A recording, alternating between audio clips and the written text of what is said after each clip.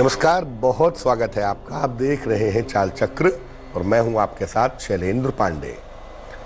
शरीर के तमाम हिस्सों में, तमाम पार्ट में, जो सबसे ज़्यादा महत्वपूर्ण हिस्सा है, सबसे ज़्यादा महत्वपूर्ण पार्ट है, वो है आपका खून, यानी कि आपका ब्लड आज हम ये जानेंगे कि आपको खून से जुड़ी हुई समस्याएँ कब होती हैं और अगर आपको खून से जुड़ी हुई समस्याएँ हैं तो इन समस्याओं को दूर करने के उपाय क्या हैं? चाल चक्र में आज क्या खास है, चलिए बताते हैं आपको। चाल चक्र में आज बात करेंगे रक्त संबंधी समस्याओं की, यानी खून से जुड़ी हुई प्रॉब्लम्स की और इनके पीछे के ग्रहों की खून से संबंधित अगर कोई बीमारी है आपको तो उसके लिए कौन से ग्रह जिम्मेदार हैं, इस विषय पर भी बात करेंगे।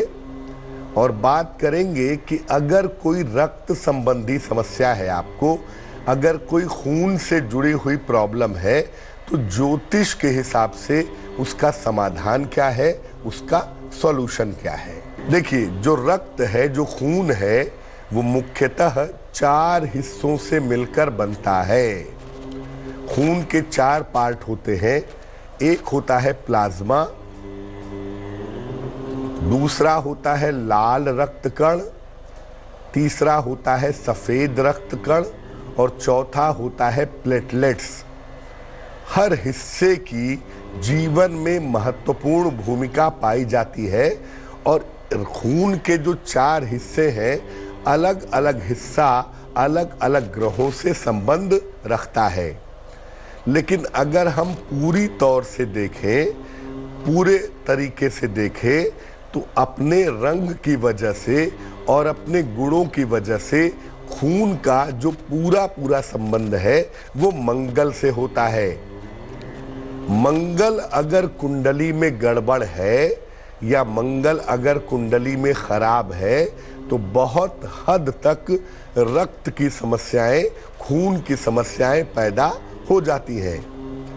लेकिन अगर आप कुछ छोटे छोटे उपाय करें, कुछ छोटे छोटे उपायों का ध्यान दें तो आप मंगल को मज़बूत कर सकते हैं और खून से जुड़ी हुई जो समस्याएँ हैं, रक्त से जुड़ी हुई जो समस्याएँ हैं, उन समस्याओं को बहुत आसानी से दूर कर सकते हैं।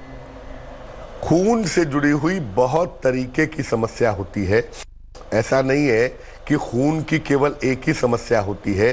खून से जुड़ी हुई बहुत सारी प्रॉब्लम होती है और अलग अलग प्रॉब्लम्स के अलग अलग समस्याओं के अलग अलग समाधान पाए जाते हैं।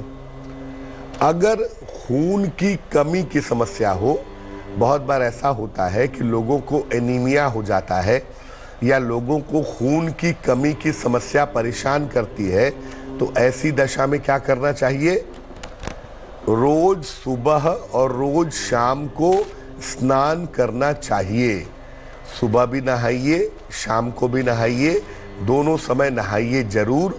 और नहाने के बाद एक मंत्र है, ओम राम रामाय नमः। ओम राम रामाय नमः। इस मंत्र का 108 बार सुबह और 108 बार शाम को जप कीजिए। इसके अलावा नियमित रूप से गुड़ का सेवन करिए। नियमित रूप से अगर आप गुड़ खाएँ तो आपके लिए बहुत अच्छा रहेगा।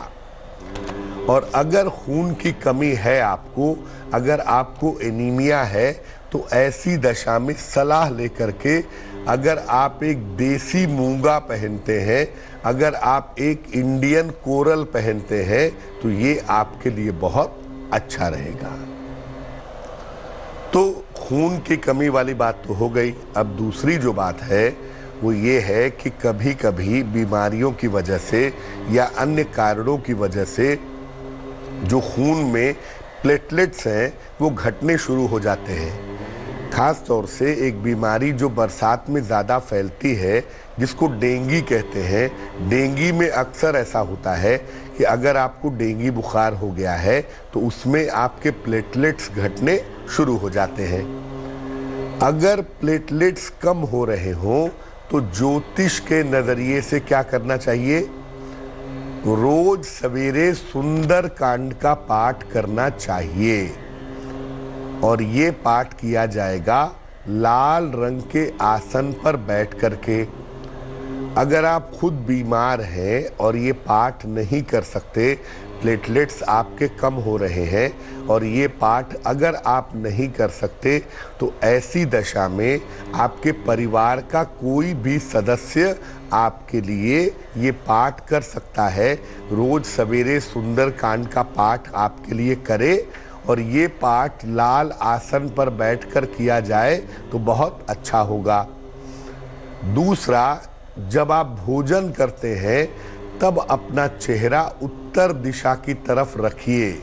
नॉर्थ साइड की तरफ़ चेहरा करके अगर कोई व्यक्ति भोजन करता है तो उसके जीवन में एक तो संघर्ष कम होता है और दूसरा, उत्तर दिशा की तरफ़ चेहरा करके भोजन करने से जो सबसे बड़ा फ़ायदा होता है, वो ये है कि आदमी का स्वास्थ्य तुलनात्मक रूप से लगातार अच्छा बना रहता है।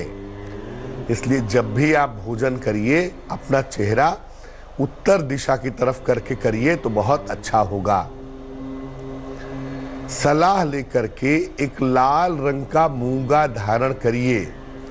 देखिए, मूँगा तो वैसे तीन प्रकार का होता है। एक होता है लाल मूँगा, जिसको इटालियन मूँगा कहते हैं। एक होता है नारंगी मूँगा, जिसको इंडियन कोरल या देसी मूँगा कहते हैं, और एक होता है सफ़ेद मूँगा।